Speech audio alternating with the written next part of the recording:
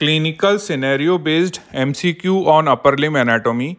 A three day old newborn presents with inability to move the left upper limb following a difficult delivery involving excessive traction on the neck.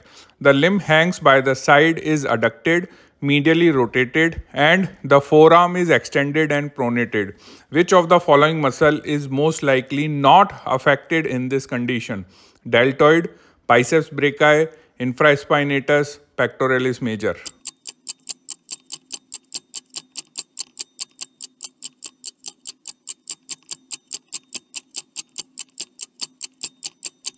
The answer is pectoralis major as this is a typical case of Erb's palsy due to the excessive traction on the neck during delivery. There is involvement of upper trunk of brachial plexus involving the root value and C5, C6 and the pectoralis major is not affected typically in this condition. Thank you.